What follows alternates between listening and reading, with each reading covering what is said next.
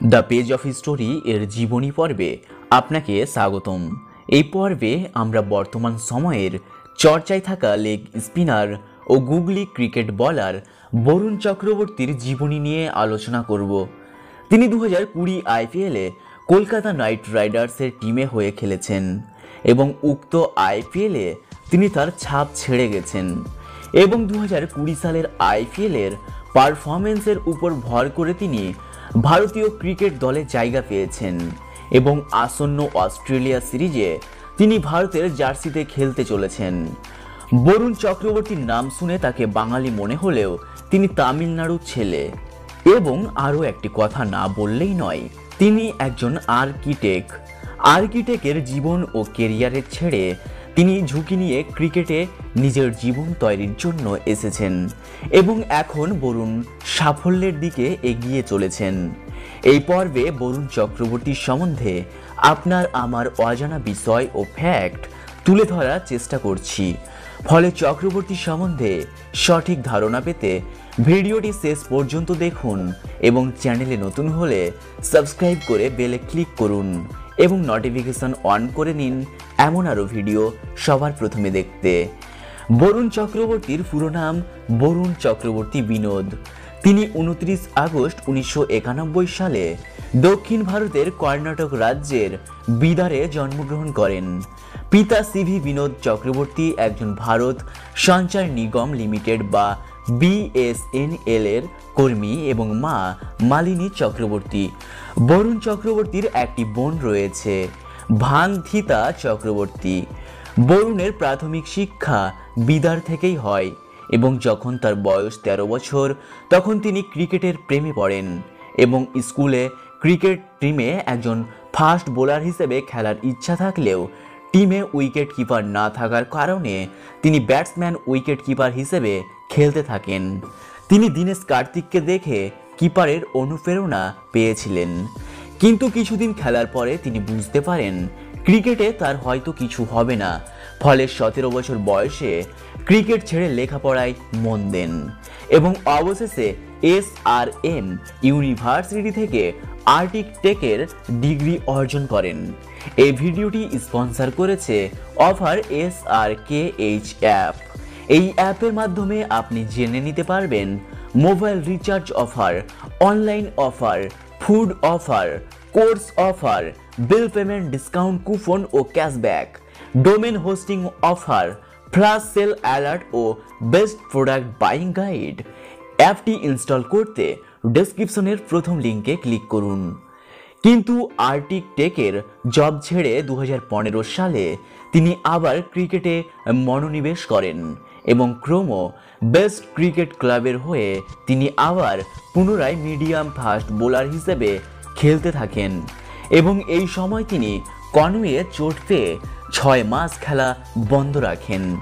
তারপরের সময়গুলি তিনি টেনিস বলে খেলতে থাকেন এবং লোকাল সরকারি মাঠে লেগ স্পিনার ও গুগলি বলের প্র্যাকটিস করতে থাকেন। প্রতিদিন ঘণ্টার পর ঘণ্টা তিনি স্পিন বল প্র্যাকটিস করে তার স্পিনারের স্কিল তৈরি করেন। এরপরে তিনি জুবলি ক্রিকেট ক্লাবের হয়ে স্পিনার হিসেবে দলে জায়গা পান। এই সময় তার কোচ কানান্তাকে এই সময় খুব সহযোগিতা করে। দু হাজার আঠারো সালের তামিলনাড়ু প্রিমিয়ার লিগে তিনি খেলার সুযোগ পান দশ ম্যাচে নয় উইকেট পান এবং দুশো বল করে একশো পঁচিশটি বল ডট করান। এরপরেই তিনি নজরে আসেন। এরপরেই আসে সুবর্ণ সুযোগ। দু হাজার সালের বিজয় হাজারে ট্রফি দিয়ে এ ক্লাস ক্রিকেটে আত্মপ্রকাশ করে। এই টুর্নামেন্টে বরুণ চক্রবর্তী চার দশমিক দুই তিন ইকোনমি দিয়ে নয় ম্যাচে বাইশটি উইকেট পান। বরুণ চক্রবর্তীকে আপনার কেমন লাগে কমেন্টে লিখুন। আপনারা অনেকেই ভিডিও দেখছেন, কিন্তু মাত্র এক শতাংশ এর কম ভিউয়ার সাবস্ক্রাইব করছেন। ফলে এটা আমাদের কাছে অনেক লজ্জার। আমাদের চ্যানেল সাবস্ক্রাইব করে আমাদের পাশে থাকুন এবং বাংলায় ভিডিও বানাতে অনুপ্রেরণা দিন। এরপরেই আসে আইপিএল সুযোগ। প্রথম দিকে তিনি কেকেআর ও ও চেন্নাইয়ের নেট বলার হিসেবে ছিলেন এবং চেপাকে দীনেশ কার্তিককে নেটে ভালো মতো জব্দ করলে তার সাথে দীনেশ কার্তিকের একটি সম্পর্ক তৈরি হয়। আইপিএল চলাকালীন কে কেআর এর ভিডিও এনালিস্ট শ্রীকান্ত তিনি চক্রবর্তীকে কে কেআর এ ডাকেন এবং এখানে এসে বরুণ, সুনীল নারিন কুলদীপ যাদব এবং পীয়ূষ চাওলার সাথে তার পরিচয় এবং তাদের কাছ থেকে তিনি স্পিন বল সম্বন্ধে অনেক কিছু শিখতে পারেন। কেকেআর এর টিমে আসার আগে বরুণ চক্রবর্তী দু সালে পাঞ্জাব দলের সাথে যুক্ত হন এবং সাতাশ মার্চ দু হাজার উনিশ সালে তিনি টি টোয়েন্টি ক্রিকেটে অভিষেক করেন এবং প্রথম ওভারে পঁচিশ রান দিয়ে ফেলেন। অভিষেক ওভারে এর আগে কোনো বলার এত রান দেয়নি। দুহাজার কুড়ি সালে কেকেআর দলে আসার পরে তিনি দলের স্পিন অ্যাটাকের একটা বড় অংশ হয়ে দাঁড়ান এবং দিল্লির বিরুদ্ধে চার ওভারে কুড়ি রান দিয়ে পাঁচ উইকেট নিয়ে সকলের কাছে আবারও সুনাম অর্জন করেন এবং পুরো টুর্নামেন্টে চোদ্দ ম্যাচে আঠারো উইকেট পান। তার এই পারফরমেন্সের উপর ভর করে তাকে ভারতের জাতীয় টিমের টি টোয়েন্টি স্কোয়াডে জায়গা দেওয়া হয় এবং তিনি অস্ট্রেলিয়া সিরিজে খেলবেন।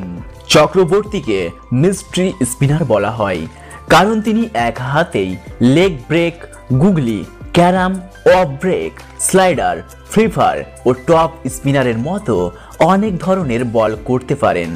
আর ব্যাটসম্যানরাও তার বল দেখে বুঝতে পারে না, আসলে এটি কি ধরনের বল হতে চলেছে। এই ছিল আজকের জীবনী পর্ব।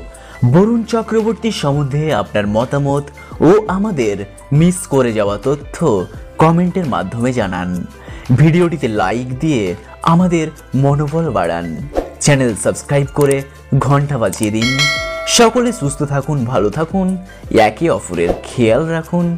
ভিডিওটি দেখার জন্য অনেক অনেক ধন্যবাদ।